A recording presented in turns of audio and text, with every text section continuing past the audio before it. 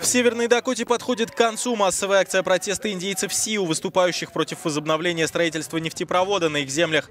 Долгое время они стояли палаточным лагерем на отведенной под строительство земле. Многие в итоге покинули его добровольно. Согласно своим верованиям, уходящие индейцы сами сожгли свои вигвамы и утварь в них. Однако не обошлось и без стычек с полицией. Протестующим грозят штрафы. Официальное обвинение в их адрес – самовольный захват земли, принадлежащей федеральному правительству.